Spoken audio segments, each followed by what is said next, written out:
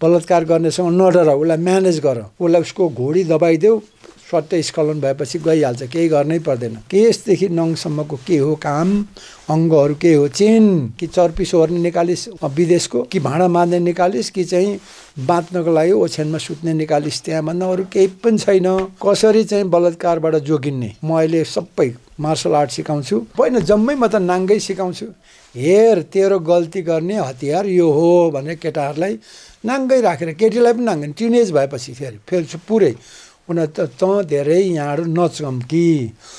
टाउको पनि नमोड। तर गर्भपतनको कानुन चाहिँ अहिले सरकार धन्यवाद छ यसलाई नट नतोड। भयङ्कर राम्रो छ। महिला सुरक्षाको लागि महिला अधिकारको लागि महिला र यो खराब मान्छे जन्म दिनको लागि चाहिँ यो राम्रो छ। कारवाही गर्ने कुरा त बलात्कारीलाई मार्नुपर्ने कि काट्नुपर्ने कि जेल हाल्नुपर्ने त्यसपछि गर्दै जाउँला नि। मैले भने हामीलाई नाङ्गै बसेपछि जिज्ञासै हराउँछ नि। छोपेपछि के छ के छ के छ भनेपछि खोलिदिएपछि it's all wrong you must understanding the understand the meaning of matter wave five elements five plants five living creatures and your five organs मैले चाहिँ यो ढाहा गर्ने मान्छे यो दुःख हुने मान्छे मोह गर्ने लोभ गर्ने यो अज्ञानीहरूलाई ज्ञान दिनु पाएँ लोभीहरूलाई चाहिँ ज्ञान दिनु पाएँ यो मोह गर्नेलाई ज्ञान दिनु पाएँ ईर्षा गर्नेलाई ज्ञान दिनु पायो भनेदेखि परिवर्तन हुन्छ भनेर त्यतापट्टिबाट यो तत्त्व ज्ञान तत्त्व तरङ्गको ज्ञान चाहिँ दिनु खोजेको देश नेपाल अति धेरै छिटो अर्ग्यानिक देश बन्छ धनी देश बन्छ धनी र अर्ग्यानिक भएपछि संसारको सबैभन्दा पपुलर डेस्टिनेसन हुन्छ.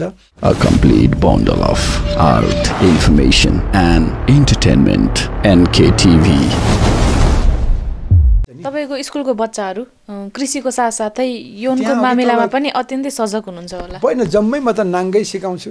हेर तेरो गल्ती गर्ने हतियार यो हो भनेर केटाहरूलाई नाङ्गै राखेर केटीलाई पनि नाङ्गै टिनेज भएपछि फेरि फेरि पुरै। उनीहरू त तँ धेरै यहाँहरू नचम्की टाउको पनि नमोड।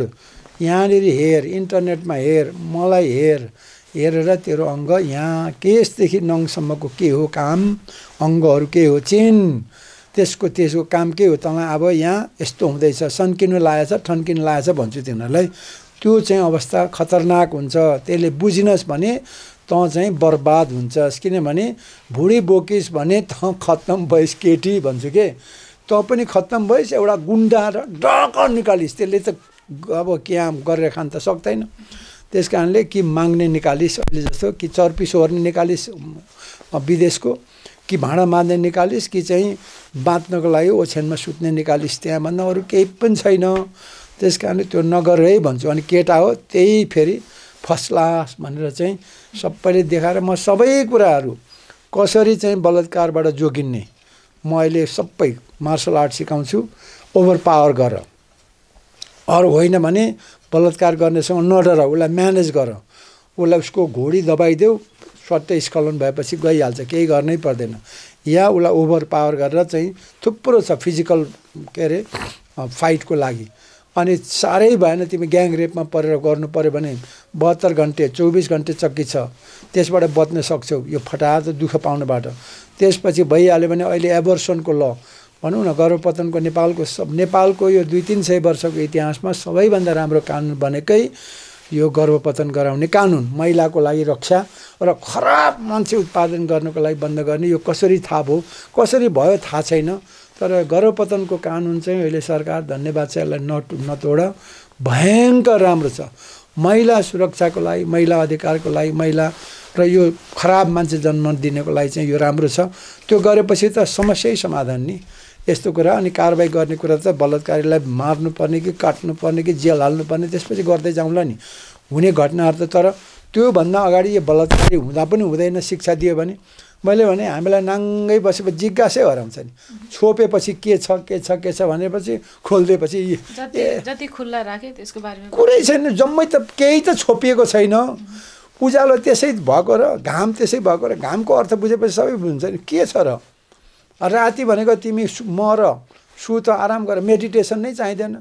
के के के के भन्छ मेडिटेसन हाँस उठ्छ गलत काम गरेर मेडिटेसनमा जाने।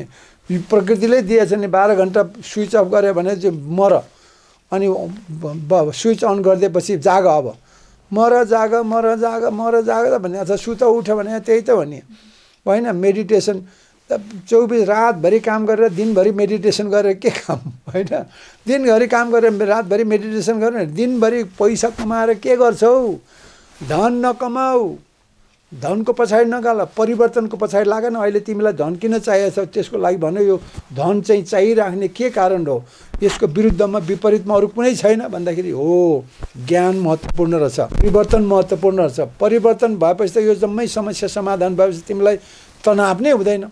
धनको लागि चौबिस घन्टा काम गर्ने अनि त्यसपछि सरुवा रोग पनि लाग्ने भरुवा रोग पनि लाग्ने त्यसपछि अनि मेडिटेसनमा गएर दुनियाँभरलाई स्वामी र योगी भनेर ती सबै भ्रम सिर्जना गर्ने मान्छेलाई चाहिँ नै के अरे मानेर अनावश्यक फेरि तनावग्रस्त अर्को समस्याको चक्रव्यूहमा पार्ने। It's all wrong you must understanding the understand the meaning of matter wave five elements five plants five living creatures and your five organs यो जरुरी छ। सबैले तत्त्व तरङ्ग पञ्चतत्व पञ्चबिरुवा पञ्चप्राणी र पञ्च अङ्गको बारेमा थाहा पाए भने जगत बुझ्छ प्रकृति बुझ्छ विज्ञान नै त्यही हो। त्यसको आधारमा प्रविधि अगाडि लाने त्यसको आधारमा जीवनशैलीलाई अगाडि लग्यो भने संसारको अहिलेको समस्या चिरेप्पै बिस वर्षमा सकिन्छ। त्यसपछि मान्छे सबै सम्पन्न सुखी हुन्छ प्रविधि मास्नु पर्दैन। खालि प्रकृति चाहिँ हेर्नु पर्यो भन्ने हो। भनेपछि तपाईँ अनि लोभ पद सबैबाट एउटा मोह भङ्ग भएर अब परिवर्तन गर्नुपर्छ भनेर लाग्नुभयो। होइन म त अहिले बुझेँ नि सम्पत्तिको लोभमा दौडिनेहरू खुट्टा हात भाँचिएर सबै खाल्डोमा जान्छ। किन अन्तमा त जति कमाए पनि त्यो खर्च भइहाल्छ नि। फेरि अति कमाए पनि जम्मै त्यो तनावग्रस्त भएर ऊ त मरिहाल्छ स्टिभ जब्स जस्तै त हो नि। मरि त गयो नि कमाएर के गर्ने? नाम त कमायो होला अलिअलि। चेन्ज गर्यो उसले त चेन्ज गरेको होइन तर मान्छे त मर्नु पर्दो रहेछ। त्यस्तै किसिमले मैले भन्छु परिवर्तनको लागि कि स्टिभ जब्स जस्तै परि परिवर्तन गर्नु पऱ्यो कि बुद्ध जस्तै। बुद्धले पनि त अब राजा थियो दुनियाँभरको फेरि अरू कमाउँथ्यो अरू राजाहरू गर्थ्यो होला। तर परिवर्तनको लागि हिँड्यो। मैले परिवर्तन भनौँ धन कमाउनुलाई अगाडि बढ्दाखेरि धेरै दुःख पाएँ। अहिले मेरो अलिअलि धन छ त्यसले यति धेरै दुःख दिएको छ। खासमा चेन्ज भनेको चाहिँ मलाई दुःख दिने कारण त यही अहिलेको अवस्था त हो नि। यो अवस्थाले गर्दा मेरो धनको कारणले अरूलाई चाहिँ डाहा हुँदो रहेछ ऊ गर्छ दुःख दिइरहन्छ क्या मैले चाहिँ यो डाहा गर्ने मान्छे यो दुःख हुने मान्छे मोह गर्ने लोभ गर्ने यो अज्ञानीहरूलाई ज्ञान दिनु पाएँ लोभीहरूलाई चाहिँ ज्ञान दिनु पाएँ। यो मोह गर्नेलाई ज्ञान दिनु पाएँ ईर्षा गर्नेलाई ज्ञान दिनु पाएँ भनेदेखि परिवर्तन हुन्छ भनेर त्यतापट्टिबाट यो तत्त्व ज्ञान तत्त्व तरङ्गको ज्ञान चाहिँ दिनु खोजेको। त्यति भइसकेपछि संसार सुन्दर हुन्छ हुन्छ।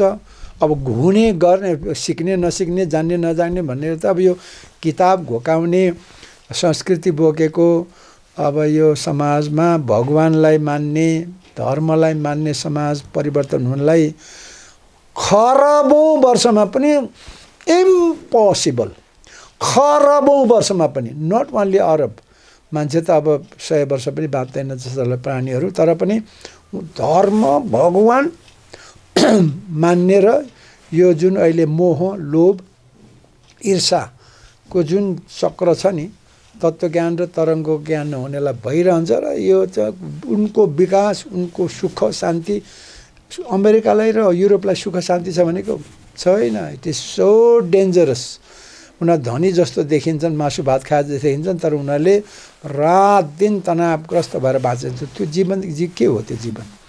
पशु पन्छीभन्दा भयङ्कर दुःखी छन् मेरो विचार। हुन्छ एकदमै खुसी लाग्यो तपाईँका कुराहरू होइन? हरेक कुरालाई चाहिँ आफ्नो एकदम फरक अभिव्यक्ति अनि एकदम दृढताका साथ भन्न सक्नुहुन्छ तपाईँ। एउटा खरो विश्लेषण होइन? मैले भने नि मसँग तत्त्व तरङ्गको आधारमा सबै गुरुहरू सबै धर्मगुरुहरू तपाईँले बटुल्नुहोस्। सबै वैज्ञानिकहरू तपाईँ म त वैज्ञानिक होइन म गुरु पनि होइन धर्म मान्दै मान्दिनँ। अब मैले बुझेको छ तत्त्व र तरङ्ग पञ्चतत्व पञ्चबिरुवा पञ्चप्राणी र पञ्च अङ्गको बारेमा मैले आफ्नो आफूले बुझेको हुनाले जीवन हाम्रो यसैमा आधारित छ। र कुनै पनि यसमा आधारित छैन भने मलाई सबै धर्मको गुरुहरू सबै वैज्ञानिकहरू सबै विद्वानहरू सबै को को छ आउनुहोस्। हजारौँ घन्टा बसेर बहस गरौँ छलफल गरौँ। म हार्न चाहन्छु। शुभकामना। हुन्छ सर यहाँको समयको लागि धेरै धेरै धन्यवाद। यो सक्रियता रहिरहोस् सुस्वास्थ्यको कामना। एकदम हेल्दी फिट रहनु यङ रहनु होइन? धेरै धेरै धन्यवाद। थ्याङ्क यू तपाईँहरूलाई पनि आशीर्वाद। सबै श्रोता अब यस्तै हो। दर्शकहरूले चाहिँ दुःख नमानिदिनु होला। परिवर्तन हुनुपर्छ सम्भव छ। नेपाल त यति धनी देश छ। यहाँ के छ र पानी र बजार हो? बजार यति ठुलो भएर आयो अहिले। बिस वर्षभित्रमा चिन र भारतको उन्नति हेर्दाखेरि संसारको यो के पूर्वी एसियाको के भन्छ उन्नति देख्दाखेरि त बजार त यहाँ अब सबै नेपालमै त थुप्रिया छ। अनि त्यो बजारमा उब्जाउ बजारको लागि उब्जाउने भनेको पानी हो। पानीको सबैभन्दा धनी देश। तर हामी मानिस चाहिँ सबै धर्म र भगवान् राजा धर्म भगवान् राजा कम्युनिस्ट। यो सबै अपराधी हुन्। राजा र कम्युनिस्ट शासनमा अपराधी। अनि धर्म र भगवान् मान्नेहरू सबै अज्ञानी हो। यिनबाट मुक्त भएन भने चाहिँ गाह्रो हुन्छ। होइन राजनीतिमा विशेष गरेर मान्छेलाई स्वतन्त्र राख्ने राजनीति भनेको लोकतन्त्र हो। लोकतन्त्रमा सबैभन्दा राम्रो अवस्था गणतन्त्र हो राजा नभएको। जनताकै मात्रै प्योर शासन लोकतन्त्र भनेको सडकबाट नेता बनाउने हो। गणतन्त्र भनेको सडक हो होइन सडकको राज हो। त्यस कारणले सङ्घीयता भनेको चाहिँ आफ्नो आफ्नो काम आफै गर्नु हो। यहाँ एउटा सडकको राज गर्ने राजाले तलको एउटा मिर्चैयाको गाउँमा कुनै एउटा रतनछाको गाउँमा विकास गर्नको लागि यहाँको राजालाई जानकारी दिएर गर्ने होइन। त्यहाँको मान्छेले आफ्नो के के चाहिन्छ त्यहीँ स्रोत साधन पठाइदिने शक्ति पठाइदिने जुन भइसकेको छ। सङ्घीयता त भयङ्कर कागतल्य आएको छ। नेपाल जस्तो अति विकट भूगोलको र धेरै नै बहु यहाँ सांस्कृतिक अवस्था भएको हुनाले आफ्नो विकास आफै गर्ने अवस्था अब यसबाट यसलाई चाहिँ प्रयोग गरौँ। यो भर्खर जन्मेको छ यसलाई फेरि त्यही सेक्स जस्तै नबुझौँ। यो सेक्स जस्तै भएको छ अहिले एमसिसी जस्तै भएको छ अहिले। होइन त्यसले गर्दा त्यो नबुझौँ र अर्को कुरो चाहिँ समावेशिता। हामी त्यति धेरै जात जाति त कुजातले बनायो तर बनिहाल्यो। फेरि लिङ्ग छ क्षेत्र छ सबैलाई समावेश गरेर सबै मान्छे स्वतन्त्र छ सबैलाई के अरे के अरे सहभागी गराउँदै आफ्नो ठाउँको विकास आफ्नो गाउँको विकासदेखि सहरको विकास सबै देशको विकास हुन्छ। त्यस कारणले लोकतन्त्र गणतन्त्र सङ्घीयता समावेशिता अति महत्त्वपूर्ण छ र सबैलाई ठाउँ छ। राजालाई शाह वंशलाई राणा वंशलाई सबैलाई यहाँ ठाउँ छ। अरूलाई त अब सबै सडकको मान्छे भइहाल्यो। त्यसैले गर्दाखेरि सबैलाई शुभकामना छ। देश नेपाल अति धेरै छिटो अर्ग्यानिक देश बन्छ धनी देश बन्छ। धनी र अर्ग्यानिक भएपछि संसारको सबैभन्दा पपुलर डेस्टिनेसन हुन्छ। पपुलर डेस्टिनेसन त त्यसै पनि छ सगरमाथा र लुम्बिनीले गर्दा। तर त्यसमा अरू पनि थपथाप गर्दाखेरि अर्ग्यानिक भयो कल्चरल डाइभर्सिटी भयो अब रिपब्लिकमा सबैभन्दा फास्ट ग्रोइङ भएको कसरी रहेछ? कयौँ कुराहरू हामीलाई चाहिँ अहिले हामी अर्काको भाँडा माझ्नु गोसो ओर्नु गइरहेछौँ अर्काको भारी बोक्न गइरहेछौँ त्यो सबै यहाँ हामी आएर उहाँ उहाँहरूलाई पछि यहाँ काम दिन्छौँ। कजाउनु पर्दैन। सायद नेपालतिर धेरै मान्छे युरोप अमेरिकाको पनि यता आउँछन् पछि। होइन जापानको पनि आउँछ। अहिले हामी उता गइरहेछौँ अब खाडीको त आउँछ आउँछ मलेसियाको त आउँछ आउँछ। तर त्यो चाहिँ के हुन्छ भने कजाउनुलाई होइन कि एक्सचेन्ज गर्नलाई।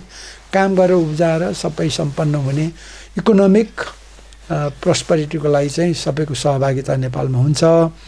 तर अब गर्दै लानुपर्छ सकारात्मक हुँदै लानु पर्यो विशेष गरेर तत्त्व र तरङ्ग पञ्चतन्त्र पञ्चबिरुवा पञ्चप्राणी र पञ्चअङ्गको बारेमा थाहा पाउनुहोस् र सही कुरा चाहिँ गरेर जायो भने हामीसँग भएको जति पनि अहिलेको बाध्यता गरिबी विशेष गरेर घाँस बाँस कपास पछि सहवास त ठिकै हो।